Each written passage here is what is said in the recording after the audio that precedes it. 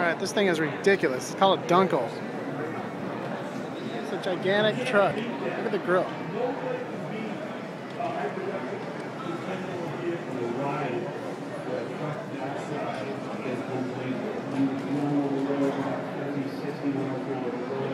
Okay, look at this thing. It has a.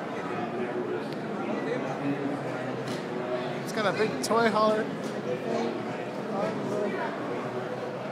Look at this toy hauler. There's like a quad up in there. There's all kinds of storage back here. Gas tanks. And then this gigantic truck bed thing. Hang on, let me show it to you. This gigantic set of ramps goes up to a truck bed on top of the whole thing. This guy can hold a sand rail. It's got a quad in there, two quads at the top. Unbelievable.